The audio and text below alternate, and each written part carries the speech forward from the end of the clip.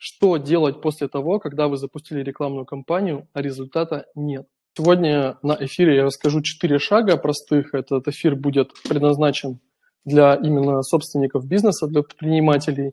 Как нужно подходить к тому, когда у вас нет результата после рекламной кампании. Вообще на YouTube-канале мы запускаем серию интервью, серию экспертных видео, в том числе с коллегами из агентства FCLID, в том числе Сергеем Ходяковым. И у нас будет э, рубрика «Эксперты говорят». Трансляция экрана. Вот смотрите, значит, недавно к нам обратился вот такой клиент. Э, Они производят вторичную гранулу. Это всякие гранулы э, из вторсырья для пленок, там, ПВД, ПНД и так далее. И, в общем, значит, Евгений мне говорит, ребята, э, сайт и интернет-реклама фигня, не работают. Почему так происходит? Причин может быть ну, огромное множество. Но клиент явно заикарился на то, что вот в тендерах есть клиенты, которые покупают сразу на 10 тонн, а интернет-реклама приводит тех, кто покупает всего один мешок. А он хочет продавать там от одной тонны, от трех тонн и так далее. Естественно, он не понимает, да, почему так происходит. Сайт есть, реклама есть, ну все должно работать, это же так просто. Так вот, что же делать Евгению, если он попал в такую ситуацию? Понятно, что он может нанять разные агентства, разных специалистов, но все же, да, то есть ему как руководителю нужно же понимать процесс, поним, разобраться, что, на что обратить внимание. Самое первое, что я предлагаю сделать, это вообще понять, а в чем проблема. Потому что проблема может быть в трафике, может быть непосредственно в сайте, а может быть в продавце. Когда руководитель поймет проблему, это 50% уже решения задачи. Как только проблема определена, считайте, что половину пути вы прошли. А, если смотреть конкретно на C++, у нас там нету да, там, а, доступа в рекламной кампании, но если взять любую страницу, которая есть на сайте, то мы с вами увидим э, самую частую ошибку, которую делают дистрибьюторы, производители, все, кто продают B2B и оптом. Это отсутствие позиционирования. То есть представьте ситуацию, человек набирает, допустим, в, сидит в Яндексе менеджер, которому поручили найти коммерческое предложение. Там, допустим, компания производит пленку, им, нужен, им всегда нужны поставщики вот этой гранулы. Соответственно, руководитель говорит там, Алексей, иди, найди нам выгодную, выгодное сырье. Алексей идет, набирает, допустим, не знаю, там гранулы, ПНД. Ему выпадает список сайтов. Что он видит? Он видит рекламные объявления. Да, вот давайте для примера, чтобы не быть голословным, я прям наберу. Вот так вот. Гранулы, ПНД. Вот так вот. Да? Видите, что видит э, Алексей? Он видит рекламу, то есть первая ссылка реклама, там вторая ссылка реклама, третья ссылка реклама, потом он видит Авито, он видит различные сайты и так далее, да. То есть что делает Алексей? Он нажимает на все подряд, все, что сверху, и открывает разные сайты и сравнивает коммерческие предложения. Так вот, если наш с вами клиент будет находиться здесь, он также нажмет и зайдет на сайт и будет его смотреть. Например, вот эту страницу главную. Что он здесь увидит? Он увидит, что да, компания это производит, и она это продает. Естественно, он позвонит или оставит заявку. Но ключевой момент, если компания C++ позиционирует себя, что компания продает от одной тонны или от пяти тонн, например, но об этом не сказала нам нигде в объявлении, не сказала на сайте, не подсветила, что она работает только с юрлицами, только с бизнесом, она делает только крупный опт, что она доставляет только ЦФО, например, понимаете? То есть если вы, ваши менеджеры, ваши подрядчики не указали критерии, по которым вы признаете, что этот потенциальный клиент ваш, то значит вы купили всех. Если ваше предложение для всех, ну тогда так и делайте. Но если вы хотите занять определенный сегмент, вам нужны очень узкие какие-то понятные клиенты по конкретным критериям, ну, ребят, тогда это нужно сделать с помощью позиционирования, нужно это отсечь. Отсечь на уровне рекламной кампании. То есть в объявлениях так и написать. Гранулы ПНД оптом от одной тонны для юрлиц, там доставка по ЦФО бесплатно. когда человек нажал, да, то есть есть вероятность, что нажал тот же, кому нужен мешочек. Ну так, ради интереса, да, он решил заинтересоваться. Но на сайте вы ему также продублируете это, напишите. От одной тонны мы, ребят, работаем. Работаем только с юрлицами, гружаем только оптом. Так и нужно здесь. То есть вот этот заголовок производства вторичной ПВД, ПНД, даже слова гранулы нету.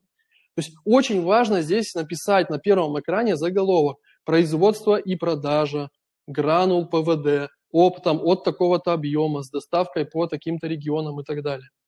Понимаете, вот как только мы определили с вами проблему, у нас сформировалась гипотеза, что, возможно, заявок было много, но они были некачественные, потому что весь бюджет уходил на всех подряд людей, а нам нужен только сегмент. Мы с вами сформировали гипотезу, и теперь я как э, специалист или там ваши какие-то наемные специалисты, они, соответственно, из этого пишут план действий. Что нужно сделать?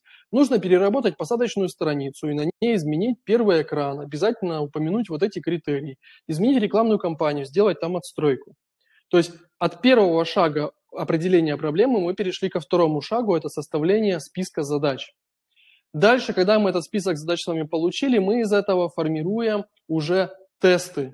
То есть мы с вами запускаем параллельно этому сайту отдельную посадочную страницу, отдельную рекламную кампанию и смотрим 2-3 недели на результаты. И четвертым шагом мы с вами уже открываем отчеты и смотрим, какие результаты были у нас до и какие результаты после. То есть я уверен, что все, кто строит бизнес, понимают, что такое гипотезы, там, хади-циклы, вот эти все умные слова. Ключевой момент, который я хочу донести на этом эфире, если вы запустили рекламную кампанию впервые в новом для вас инструменте или новым методом, или у вас новая категория продукции, вы запускаете новую рекламную кампанию, может быть, у вас новый рынок, новый сайт, да все что угодно, новое, вот считайте, что если вы запустили, и у вас с первого раза получилось, прям с первого раза, значит, что-то идет не так. Это вот исключение. Потому что, когда вы только начинали заниматься там музыкальными инструментами, да, ну как вы могли сесть и сразу, чтобы у вас все получилось? Ну не бывает так. Да, то есть и в бизнесе, да, но есть такие люди, которые вот сразу они начали, и за неделю они миллионерами стали. Ну не бывает такого. То есть нужно пройти какой-то этап трансформации, этап тестирования, этап набора данных для того, чтобы получить результат. Крупные компании внедряют сотнями эти тесты в течение месяца. Они каждую букву, там, я не знаю, кнопку тестируют для того, чтобы выжать еще 0, там, 0 какого-то процента конверсии. Поэтому я призываю вас, если вы вдруг решили остановиться на достигнутом, да, сейчас я остановлю экран. Если вы решили остановиться на достигнутом, если вы решили, вот я запустил ВКонтакте, ой, что-то она не работает. Вот я запустил там, например, я не знаю, там Яндекс Директ, ой, она не работает. Не останавливайтесь на этом. Вам нужно понять, что делаем, делаем, делаем, делаем, и результат будет. Результат будет, потому что как больше будет данных поступать, вы будете уже понимать, что работает для вас, а что нет.